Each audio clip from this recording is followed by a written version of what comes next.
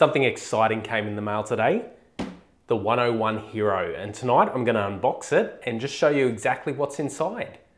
You know what time it is.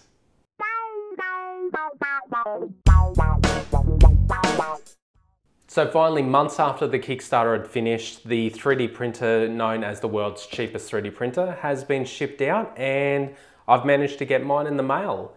If you'd like to see a more comprehensive review and actually going over other details, then check out Angus's channel, Maker's Muse, which you can find up here. But for now, let's see what's inside. Okay. So the first part looks like the top and the bottom and the build plate, which is a cylindrical piece of glass, or a circular, I should say, not cylindrical. So throw those to the side. There's the piece of glass there. Let's pull it out. Just for protection while I'm unboxing, I'll put that back in because you never know what will happen. Throw that one over there. Okay, so a couple of bits of filament. Handy instruction manual. Looks like we've got the screws, clips and some tape. It's the power supply and it's Australian, which is great.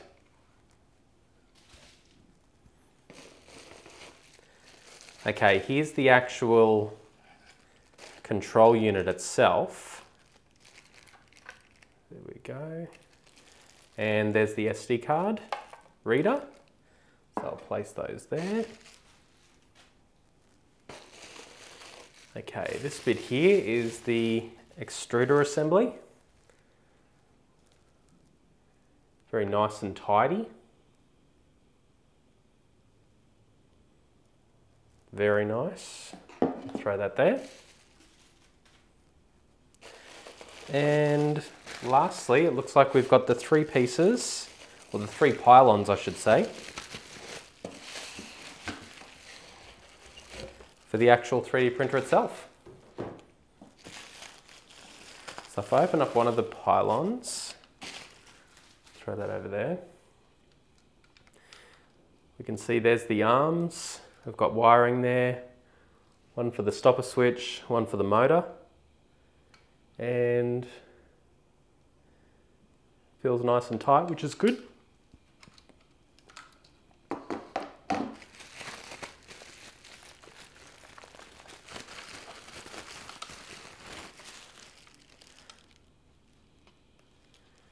Second one looks good.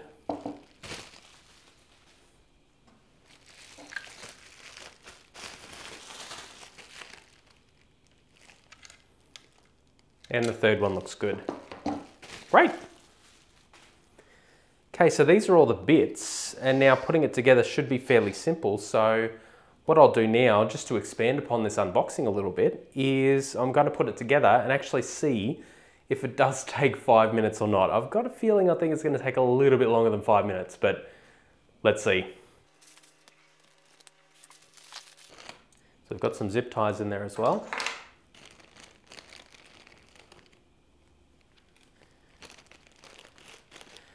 Got an Allen key.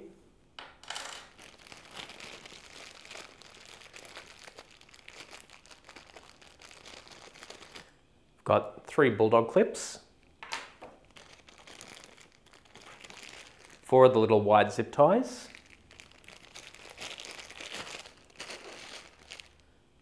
The tape for the bed. And screws for the unit itself. All right, so the stopper switches or limit switches all are supposed to be up the top. So that's a good indication there. Now at this point, they're both exactly the same. So I don't think it matters which one you actually use. So what I'm doing is I'm just pulling up the wires there just to make sure that the limit switch wires don't come in contact.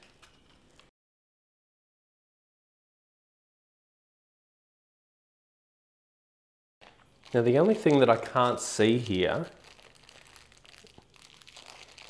is any sort of instructions saying what the difference in the screws are. So for a beginner, there might be some confusion there, but I can see here these are the M412, and it does say that there are 12 screws there. So I'm guessing they're working under the assumption that you can see there that it says it needs 12 screws in total. So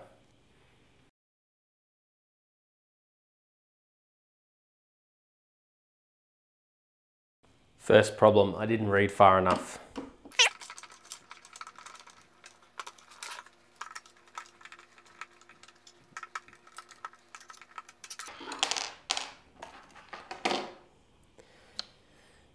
Right down in there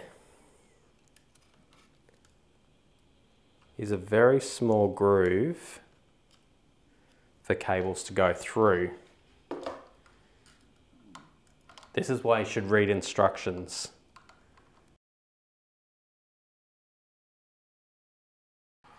That's better. Okay.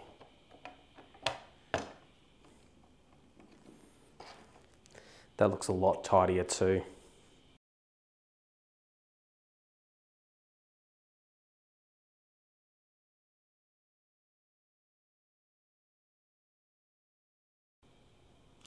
What is the temperature right now? It's 26 degrees right now. It is very hot right now. It's an Australian summer and today has been extremely hot and I'm sweating. So it's actually night time right now. It is 8 o'clock at night and it's 26 degrees Celsius. So you can imagine how hot it is. But I will push through.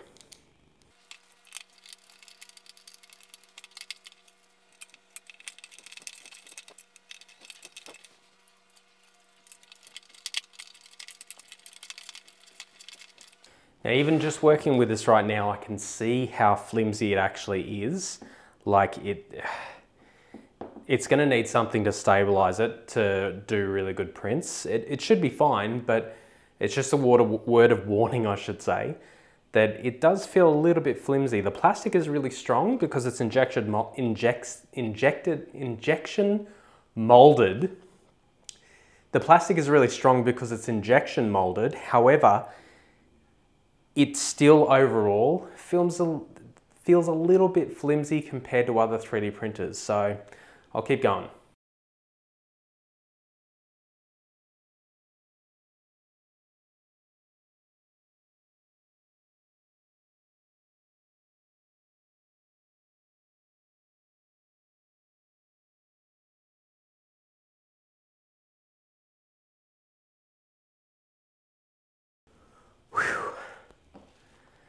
All right, so let's put on this top.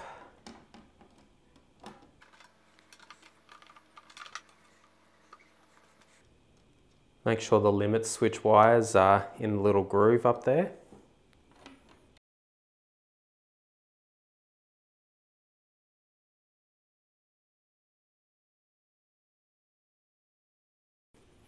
Okay, so there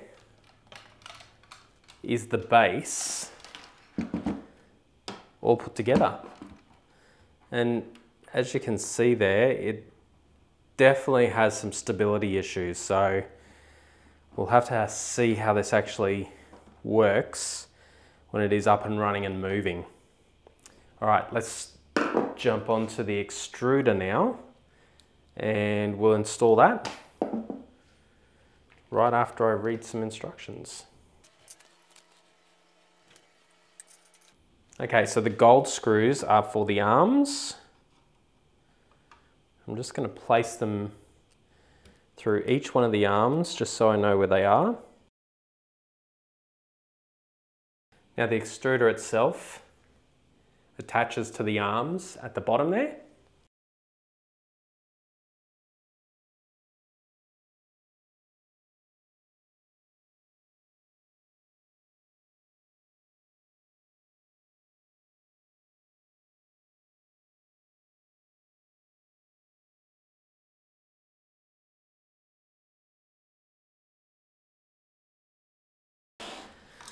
Okay, so that's the extruder attached to the arms.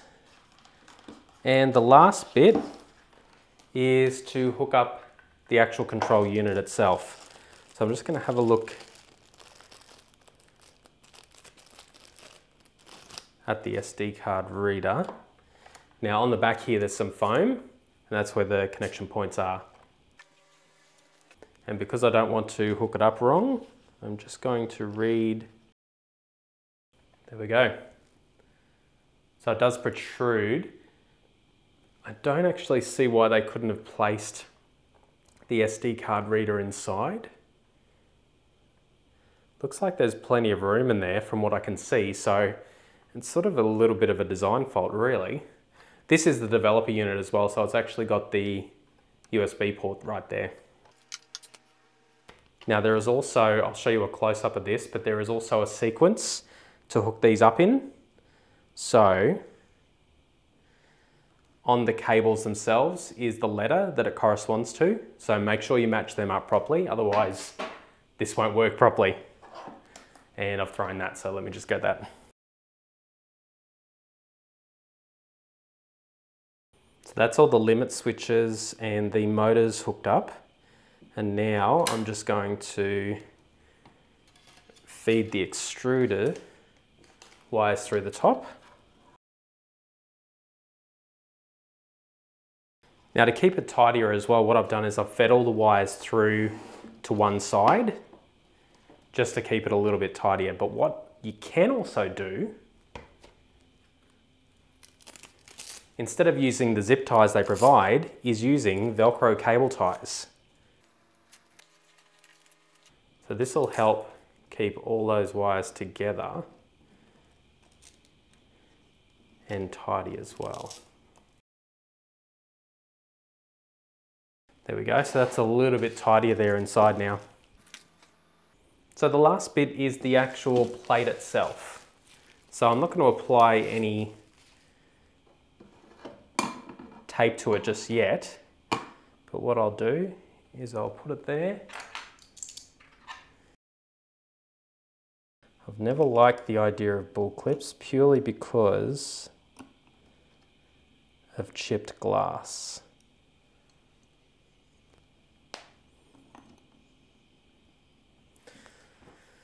Well, that looks like it.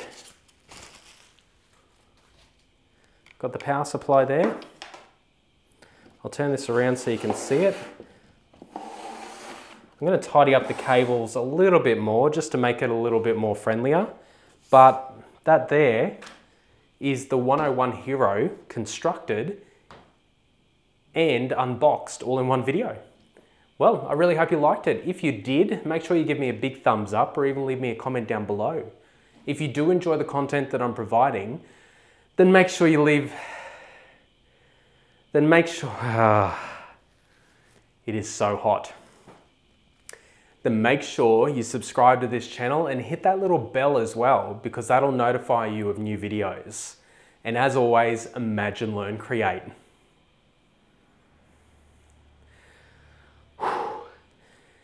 that's the end of the video and it is so hot right now. I'm sweating so much.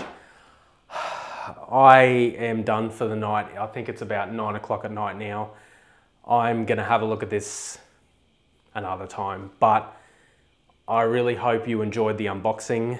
Um, like I said, there's a, there's a, a few things that I wouldn't mind doing to this just to give it a little bit more stability, clean up the cabling and so forth. Um, but yeah, apart from that, this looks like a really great little machine. Um, it'll only be used for, for little parts and all that sort of thing because it doesn't have a very big build volume, but it's, uh, it's still going to be a good little machine. If you want to grab one for yourself, I think they're taking pre-orders at the moment, so I'll leave a link down in the description for their website. I'm in no way affiliated with them. I just kick-started this, same as Angus when he first started. So if um, yeah, if you do like it, then check them out.